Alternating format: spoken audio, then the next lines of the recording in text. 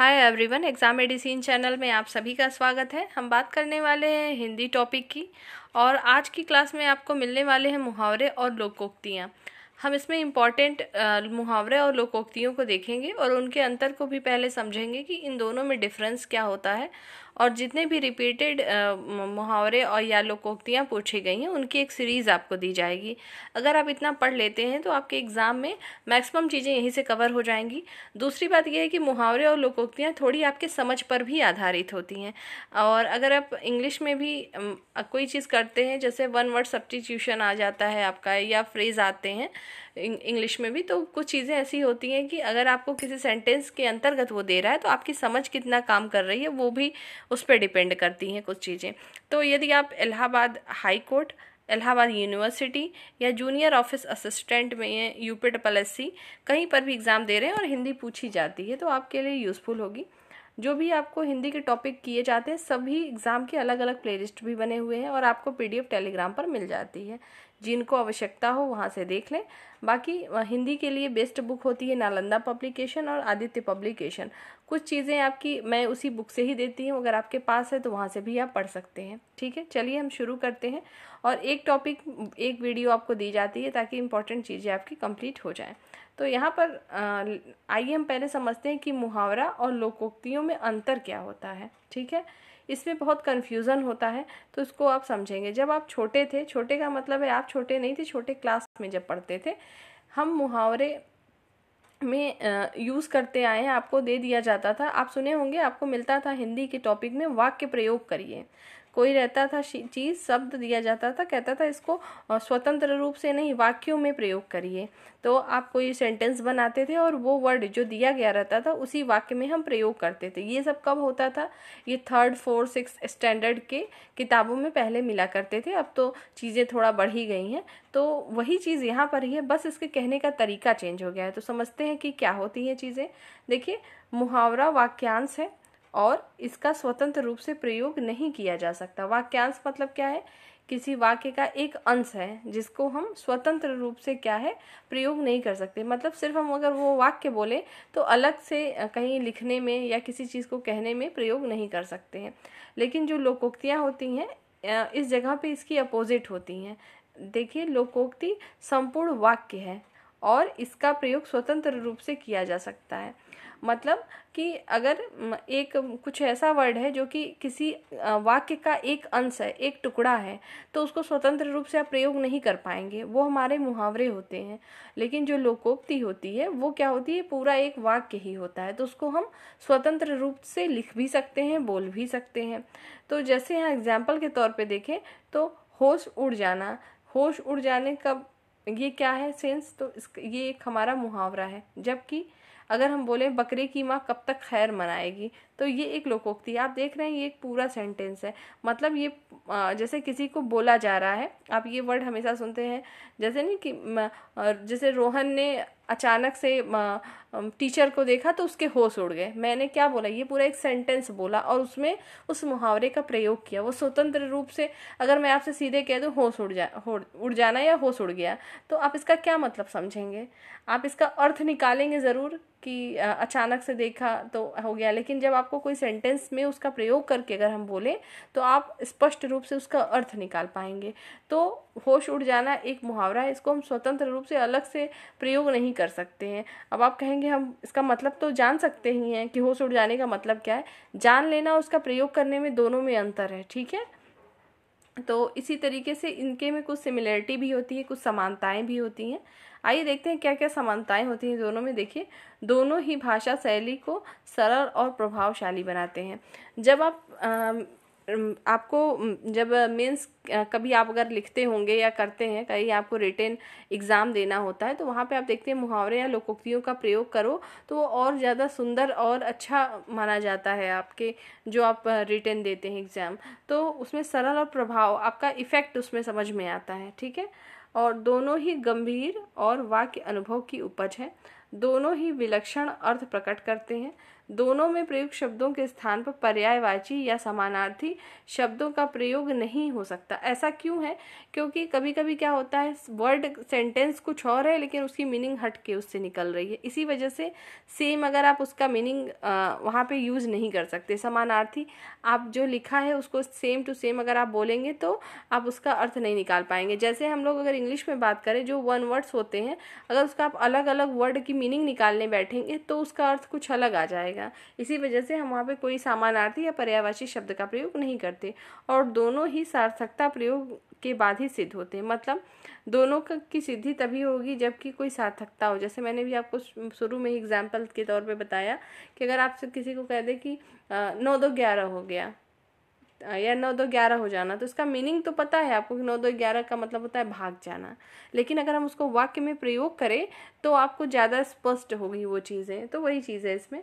तो ये रहे इसकी समानता और क्या अंतर है वो? और इसकी डेफिनेशन भी समझ में आ गई होगी कि मुहावरा क्या है और लोकोक्ति क्या है। यहाँ से प्रश्न ऐसे भी पूछे जा सकते हैं कि मुहावरा निम्नलिखित में से क्या है? दे देगा। वाक्यांश है, एक पूरा वाक्य है, संपूर्ण वाक्य है, इनमें से कोई नहीं, ऐसे करके। तो मुहावरा एक वाक्यांश होता है मतलब वाक्य का अंश है, जबकि लोकोक्ति संपूर्ण एक वाक्य ही होती है।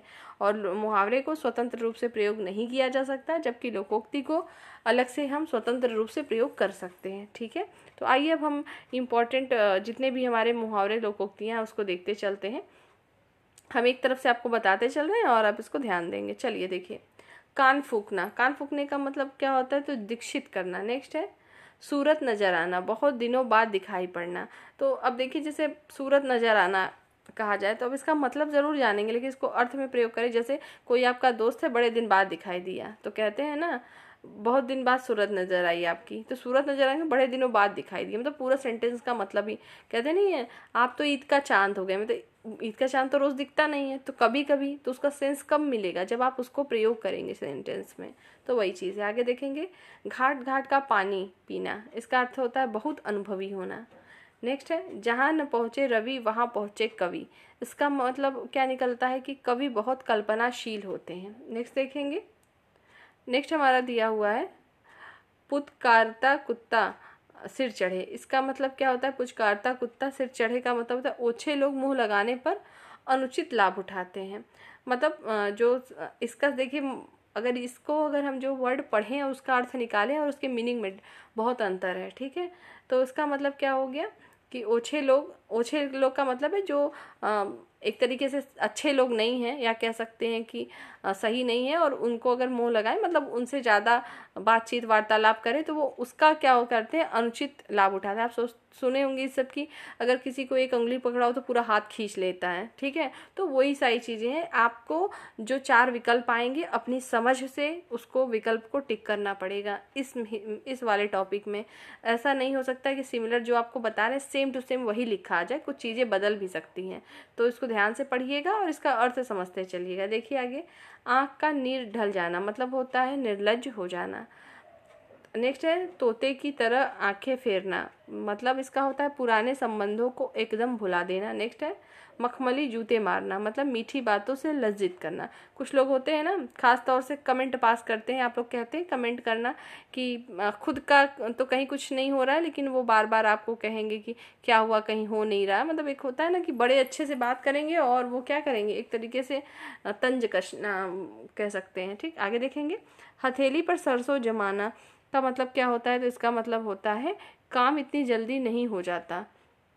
एक बात और बता दो, हिंदी को बहुत हल्के में मत लीजिएगा। आप लोग बहुत सारे लोग होते हैं, हिंदी के, खासतौर से हिंदी मीडियम कैंडिडेट उनको लगता है हिंदी तो है, मैं कर लूँगा।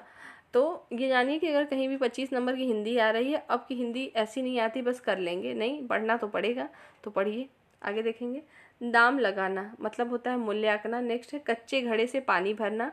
ठीक ढंग से काम न करना। नेक्स्ट नेक्स्ट है, चांदी का एनक लगाने का मतलब है किसी न किसी प्रकार प्रतिष्ठा बनाए रखना। नेक्स्ट, दिन को दिन और रात को रात न समझना। इसका अर्थ होता है, कोई बड़ा काम करते समय अपने सुख आराम का कुछ भी ध्यान न रखना। जैसे आप लोग दिन रात एक, कहते हैं दिन रात एक कर दो पढ़ने में, अपने गोल को अचीव करने में। तो उसका मतलब क्या? अपनी सुख सुविधा आराम, चैन, इस पर ध्यान न देना। नेक्स्ट है रीढ़ टूटना।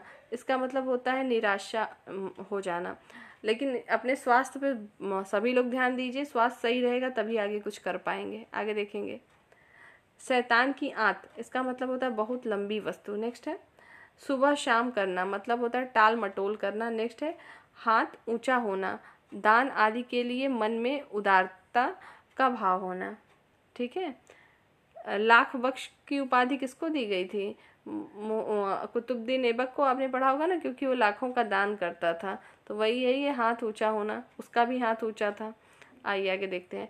डंके की चोट पर कहना। डंके की चोट पर कहने का अर्थ क्या होता है? सबके सामने घोषित करना। ने, नेक्स्ट है तीन तेरह होना तितर बितर होना। नेक्स्ट है एड़ी चोटी का पसीना एक करना अत्यधिक श्रम करना। नेक्स्ट है अंग अंग ढीला होना शिथिल होना। नेक्स्ट अंधे के हाथ बटेर लगना, किसी वस्तु का अनायास मिल जाना। जैसे कुछ लोग उसके काबिल नहीं होते और मिल जाता है। होता ही है, कुछ ऐसी वैकेंसीज होती है, जिसको वहाँ नहीं जाना होता है और किसी न किसी सोर्स के माध्यम से या अदर तरीके से वो पहुँच जाता है तो वही होता है। उसी को आप कह सकते हैं कि अंधेर के हाथ क्या लग गई? बटेर लगना। नेक्स्ट आँख का पानी ढल जाना। इसका मतलब है निर्लज होना। ये अब रिपीटेड है। नेक्स्ट देखेंगे। कलेजा होना, हिम्मत होना। नेक्स्ट ओखली में सिर दिया तो मुसलों का क्या डर? इसका मतलब होता है कठिन काम शुरू करने का कस, पर कष्ट को सहन करने की आ, करने ही पड़ते हैं। इसका अर्थ तो अभी के अभ्यर्थियों पे ज़्यादा बैठता है इसलिए क्योंकि ओखली में कर देना आजकल सब फॉर्म तो भर ही देते हैं भर ही दिया है और वैकेंसी जब क्लियर होती है आराम आराम से तो होने ही दिया जाए। तो अब किस बात का डर आगे तो आ ही चुके हैं है ना? आगे देखेंगे? हाथ उठाकर देना। हाथ उठाकर देने का मतलब होता है स्वेच्छा से किसी को कुछ देना। नेक्स्ट पानी न मांगना। तत्काल मर जाना। पानी न मांगने का मतलब है तत्काल मर जाना। सिर उठाने का मतलब है विरोध में आना। आइए आगे बढ़ते हैं। कौड़ी को न पूछना। इसका मतलब होता है निकम्मा होना। तालू में जीव न लगना। चुप न रहना। नेक्स्ट हाथ पीले करना। विवाह करना। आँखों का तारा बहुत प्रिय। अपना उल्लू सीधा करना, स्वार्थी सॉरी स्वार्थ पूर्ति नेक्स्ट है, सारा काम रुक जाना, गुड़ गोबर। नेक्स्ट तूती बोलना, किसी भी क्षेत्र में अमिट प्रभाव छोड़ना। नेक्स्ट है, फिसल पड़े तो हर हर गंगे या हर गंगे। इसका मतलब होता है मजबूरी में काम पड़ना। आइए अगला देखते हैं। तेली का बैल होना। तेली का बैल होने का मतलब क्या होता है? बुरी तरह काम में लगे रहना। छाती पर मूंग दलना पास रहकर दुख देना। नेक्स्ट देखते हैं। आधा तितर, आधा बटेर। इसका अर्थ होता है बेमेल तथा बेढंगा होना। गुलर का फूल होना, कभी भी दिखाई न देना। नेक्स्ट है घाट घाट का पानी पीना, बहुत अनुभवी होना। टिप्पस लगाना, सिफारिश करना। कास्ट की हांडी बार बार नहीं चढ़ती। मतलब छल कपट का व्यवहार हमेशा नहीं चलता है। जो लोग छल कपट करते हैं अंत में, पता तो चल ही जाता है और वो हमेशा काम नहीं आता। नेक्स्ट आए थे हरिभजन को ओटन लगे कपास। इसका अर्थ क्या होता है? तो इसका अर्थ होता है कि किसी कार्य विशेष की उपेक्षा कर किसी अन्य कार्य में लग जाना। नेक्स्ट न उधो का लेना, न माधो का देना। इसका मतलब होता है अपने काम से काम रखना। आइए आगे बढ़ते हैं। नेक्स्ट है सिर आँखों पर बिठाना। सिर आँखों पर बिठाने का अर्थ क्या होता है? हृदय से सेवा सत्कार करना। नेक्स्ट आकाश से बातें करना। बहुत ऊँचा होना। बाँसों उछलना मतलब प्रसन्न होना। भाड़ झोंकना मतलब व्यर्थ समय नष्ट करना। नेक्स्ट लंगोटी में फांस, फाग। इसका मतलब होता है दरिद्रता में आनंद बनाना। नेक्स्ट है, खून पानी होना। कोई असर न होना। नेक्स्ट है, माथा ठनकना। अनिष्ट की आशंका होना। नेक्स्ट है ठिकरा फूटना मतलब किसी के सर पर झूठा दोष लगाना। नेक्स्ट है, दांतों तले उंगली दबाना, हैरान हो जाना या होना। अंधेरी नगरी, अन्याय की जगह अंगूठा दिखाना, इनकार करना। ईमान बेचना, अपने कर्तव्य से हट जाना। नेक्स्ट मांगे भीख पूछे गाँव की जमा। इसका मतलब क्या होता है? अपनी असलियत भूल कर बात करना। नेक्स्ट है अपनी ढपली अपना राग सबका अपने अपने मन के अनुसार चलना। नेक्स्ट है, हसुए के व्याह में खुरपी का गीत, असंगत बातें करना। नेक्स्ट है, जाके पाँव न फटे बिवाई, सो क्या जाने पीर पर आई। इसका अर्थ होता है, जिसके ऊपर बीतती है, वही जानता है। नेक्स्ट देखेंगे, ये भी सेंटेंस देखा जाए तो कहीं ना कहीं अभ्यर्थियों से जुड़ा है, क्योंकि आप तैयारी कर रहे हैं, फॉर्म भर रहे हैं, एग्ज़ाम हो रहा है, कोर्ट में जा रहा है, पेपर लीक हो रहा है, सब हो रहा है, लेकिन जो रिलेटिव हैं आपके, बहुत सारे लोग होंगे उनके दिमाग में बस यही है कि कब तक तैयारी हो रही है? उनको तो उसके बारे में पता ही नहीं कि तैयारी तो सबकी है, लेकिन एग्ज़ाम नहीं हो रहा है एग्ज़ाम समय से नहीं हो रहा है रिज़ल्ट नहीं आ रहे तो उसमें अभ्यर्थी क्या करे? ठीक है? आगे देखते हैं। जस दूल्हा तस बनी बारात। इसका अर्थ क्या होता है? तो सभी साथी एक ही जैसे। नेक्स्ट ऊँट के मुँह में जीरा ज़रूरत से बहुत कम। नेक्स्ट सावन के अंधे को हरा ही हरा नज़र आता है। खुशी को आ, सब जगह जो है जो सुखी होते हैं सुखी को सब जगह सुख ही नज़र आता है। नेक्स्ट कर भला तो हो भला सेवा करने वाले को अच्छा फल मिलता है। नेक्स्ट देखते हैं। अगला दिया हुआ है घर का भेदी लंका ढाए। आपस की फूट में से हानि होती है। नेक्स्ट नाच न आवे आँगन टेढ़ा।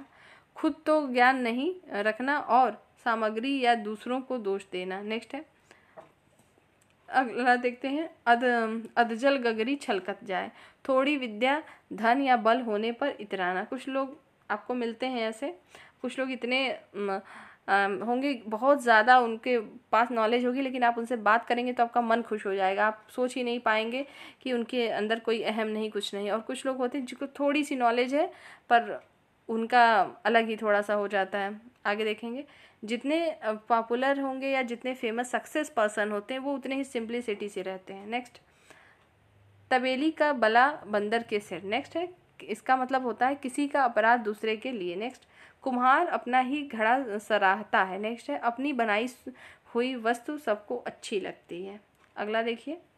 अगला दिया हुआ है एड़ी चोटी का ज़ोर लगाना मतलब बहुत परिश्रम करना। नेक्स्ट लुटिया डूब जाना, पूर्णतः हार जाना, छक्के छुड़ाना, हारना नेक्स्ट है प बारह होना, लाभ ही लाभ होना, जौहर खुलना मतलब होता है भेद का पता लगना, ढपोर शंख, बेवकूफ़ नेक्स्ट है, नौ दो ग्यारह होना, रफू चक्कर होना, अगला है, ऐसी तैसी करना, दुर्दशा करना नेक्स्ट है, तिलांजलि दे दी मतलब पूर्णतः मुक्त होना सिर आँखों पर बिठाना, हृदय से सेवा सत्कार करना आकाश में बातें करना, बहुत ऊँचा होना, बांसों उछलना, प्रसन्न होना, भार झोंकना मतलब व्यर्थ समय नष्ट करना। ठीक, आइए अगला बढ़ते हैं, आगे देखिए। गंगा गए, गंगा दास, जमुना गए, जमुना दास। इसका मतलब क्या होता है? तो जिसका कोई दृढ़ सिद्धांत नहीं होता। नेक्स्ट जहाँ राजा भोज, वहाँ कहाँ गंगू तेली। मतलब आकाश पाताल का अंतर होना। टूट चाप नहीं जुरे रिसाने। इसका मतलब क्या होता है? नुकसान हो जाए, जाने पर क्रोध करना व्यर्थ है। जो चीज़ जैसे हो चुकी उस पर क्रोध करने से कोई मतलब नहीं है। आगे उस पर क्या हो सकता है, उस पर बात करनी चाहिए। आगे देखेंगे, अंधा पावे आँखें तो पति पति पाए। इसका मतलब क्या है? तो अभिष्ट की प्राप्ति होने पर विश्वास का जमना। नेक्स्ट जादू वही जो सिर चढ़कर बोले। इसका अर्थ होता है, कार्य वही श्रेष्ठ है जिसका लोहा विरोधी को भी मानने पड़े। नेक्स्ट है राम नाम अपना पराया माल अपना। इसका अर्थ होता है, धोखे से धन जमा करना नेक्स्ट घर का जोगी, जोगड़ा, आन गाँव का सिद्ध। इसका अर्थ होता है, घर के ज्ञानी को सम्मान नहीं। नेक्स्ट है, कोयले की दलाली में मुँह काला। इसका अर्थ क्या होगा? बुरे काम से बुरा मिलना। नेक्स्ट हथेली पर सरसों नहीं जमती। मतलब काम इतनी जल्दी नहीं हो जाता। काम इतनी जल्दी का मतलब दुष्कर काम। जो सही ना हो। नेक्स्ट देखिए, गोद में लड़का शहर भर में ढिंढोरा इसका अर्थ क्या होता है? पास में वस्तु रख, रहते हुए चारों ओर खोजना। नेक्स्ट है, तन पर नहीं लगता, पान खाए अलबत्ता। इसका अर्थ क्या है?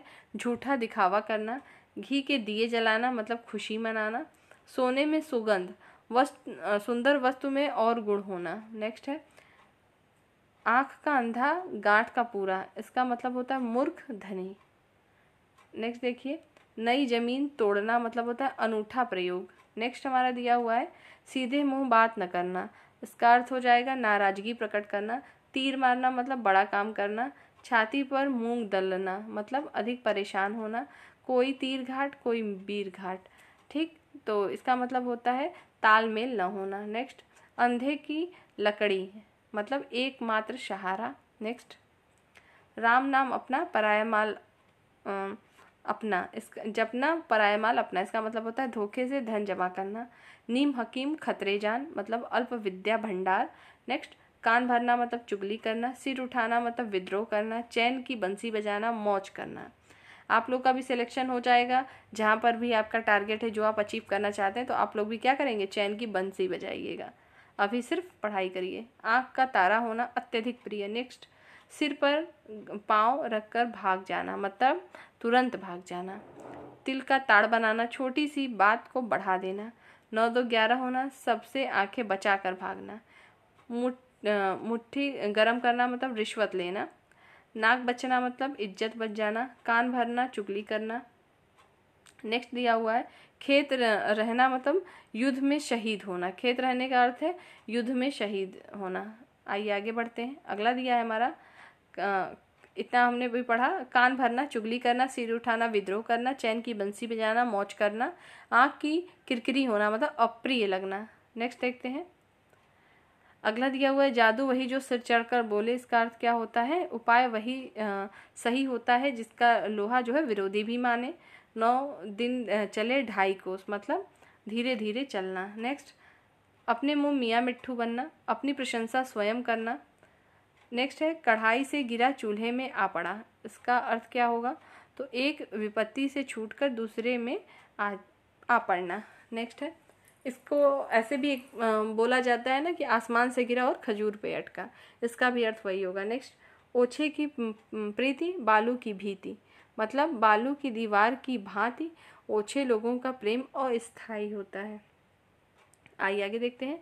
जूतियों में दाल बांटना मतलब होता है लड़ाई झगड़ा हो जाना। नेक्स्ट है, घड़ों पानी पड़ना, लज्जित होना। जहाँ न पहुँचे रवि, वहीं पहुँचे कवि। मतलब जहाँ न पहुँचे रवि, वहाँ पहुँचे कवि। इसका अर्थ क्या होता है? कवि बहुत कल्पनाशील होते हैं, ठीक है? तो इस सीरीज़ में मैंने लगभग मोस्ट इंपॉर्टेंट आपको मुहावरे लोकोक्तियाँ करा दी हैं। इसको एक दो बार पढ़ लीजिएगा। ज़्यादा पढ़ना नहीं पड़ेगा, याद हो जाएगी चीज़ें। अगर आपकी कोई क्वेरी होगी इससे संबंधित और कोई भी परीक्षा से संबंधित कोई डाउट तो आप पूछ लीजिएगा, बता दिया जाएगा। बाकी ये बहुत इंपॉर्टेंट है, हर एक एग्ज़ाम में पूछा जाता है। हिंदी की कुछ टॉपिक और बची होंगी, जैसे संधि अभी आपकी बची है, उसको मैं कराऊँगी जल्द। और बाकी चीज़ें जो होंगी कराते रहेंगे और इंग्लिश की भी आपको जो है वन वर्ड्स के और फ्रेजेस के जो है, और फ्रेजल वर्ब की भी जल्द ही आपको सीरीज़ मिलेगी। नेक्स्ट वीडियो में जल्द मिलते हैं। जय हिंद।